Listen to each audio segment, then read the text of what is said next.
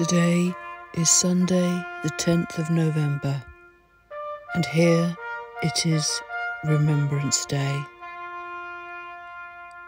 Today we remember all of those who served in the armed forces for our democracy and freedoms. They shall grow not old, as we that are left grow old.